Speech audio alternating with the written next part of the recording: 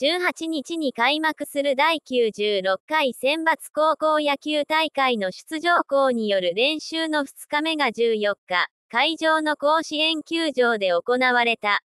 大阪桐蔭は2年ぶり5度目の優勝を目指し、22日に北海、北海道との初戦に臨む。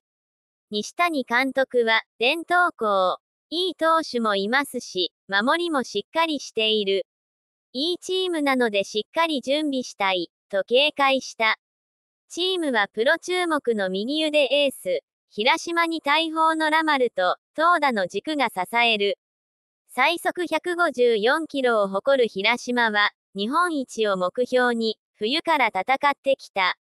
北海戦に向かって全員で全力で戦っていきたい、と意気込んだ。